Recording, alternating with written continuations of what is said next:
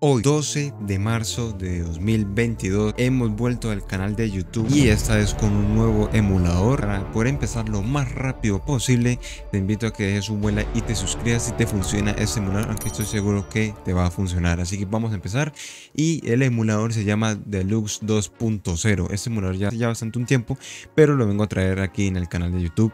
¿Y cómo va en rendimiento? Al pesar que Garena Free Fire eliminó Free Fire por 86 Listo, ahora para poder empezar a instalar el emulador. Lo que van a hacer es simple y simplemente en el link de la descripción tiene para que descarguen el emulador.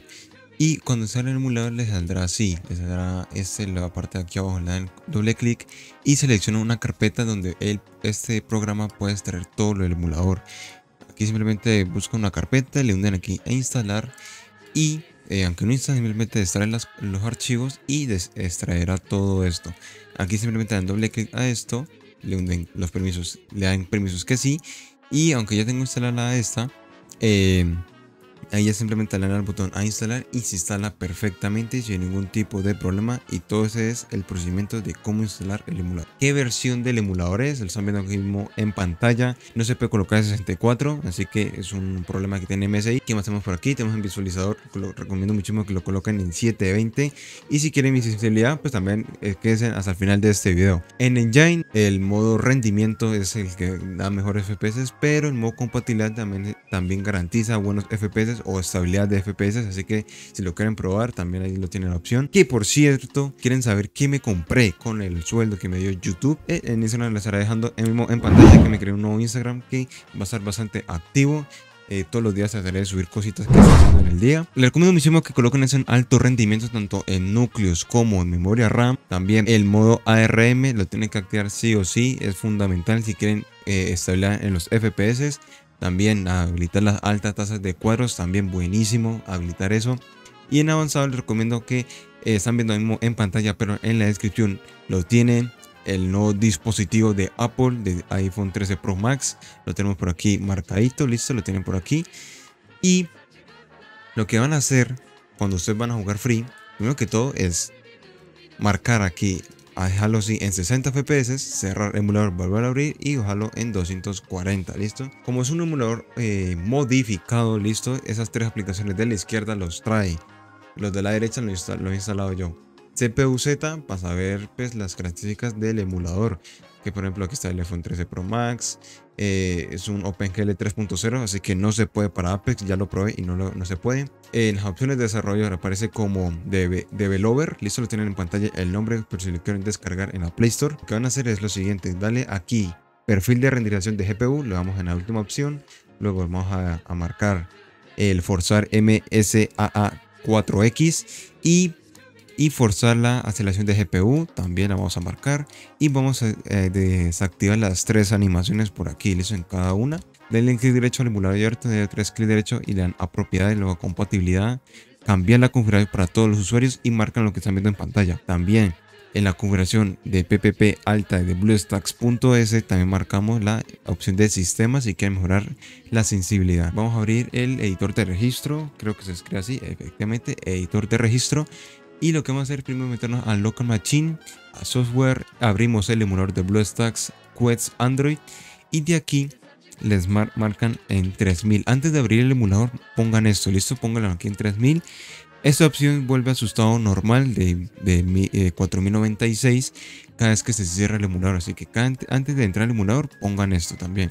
También les recomiendo muchísimo si quieren mejorar la sensibilidad, o al menos así me ha funcionado, metemos a control del control panel, meternos a mouse y copien lo siguiente. En Mouse Hover Time recomiendo mucho entre 8 y 10, cualquiera de esos tres números de 8, 9 y 10, recomiendo mucho que lo prueben. El doble clic de Speed, esto tiene que ir acorde a la, al DPI que tengan ustedes. Si no es un mouse con software, pónganlo en 800. ¿Listo? Porque por lo general los mouse que no tienen software, los más de oficina tienen 800 y 1000. Los mouse que tienen software, pues ya a su gusto. Lo tengo yo en 700, pero ¿por qué lo tienen 900? Por la simple razón de, la, de esto. Cuando vamos a ir aquí en la configuración del mouse, vamos a tener aquí configuración, configuración adicional del mouse. Ustedes cuando el doble speed se cambia, listo, por ejemplo lo colocan en 800, el 800 sube 1, listo.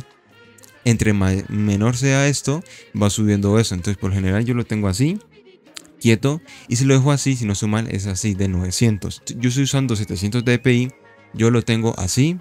También por acá lo tenemos en su estado normal, menos de la presión desactiva. Vamos a panel de control, accesibilidad, centro de accesibilidad y configuración de las teclas del mouse. Esto lo, lo a dejar tal cual como lo están viendo en pantalla. En alta y lenta la aceleración, velocidad máxima en alta y aceleración en lenta.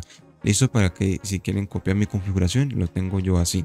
Bueno, ya estamos adentro del emulador. Me está yendo mal, no sé por qué, pero he tenido unos problemas con el PC, pero ya estamos aquí. Lo que más es meternos al Custom HUD y lo tienen actualmente en pantalla. Este botón sí se ha movido, listo, en su estado de default. Eh, este viene con un poquito más si no estoy mal, pero eh, este es el mapeo que están viendo en pantalla. Y el emulador tiene la siguiente configuración. Están viendo también en pantalla. ¿Listo? Le dan aquí clic derecho a F1 y aquí están viendo toda mi configuración actualmente. También categoría de orientación, cambienlo esto a mix, listo como lo tengan así. Por lo general a veces también aparece como conduciendo, entonces lo pueden colocar o conduciendo o este que es lo mismo, listo. Simplemente que a veces se buguea el emulador y que es que sale conduciendo, no sé qué chucha será eso. Supongo que eso es en inglés. El, de mix, el de conduciendo en español. Este es el mapeo que están viendo mismo en pantalla. Eh, ahí está toda mi configuración. No he jugado mucho, pero a veces que he jugado, mm, la sensibilidad me ha servido bastante. Así que espero que les funcione el video. No se olviden que arriba, aquí a la izquierda están viendo un, video de optimización si quieren verlo. También a la derecha tienen el botoncito para que se suscriban y activen la campanita de notificaciones. Abajo está apareciendo todas mis redes sociales. En la descripción también tienen todos los links para que descarguen el emulador, para que descarguen la APK de Free Fire que estoy usando yo actualmente. Sin más que decir, nos vemos hasta la próxima.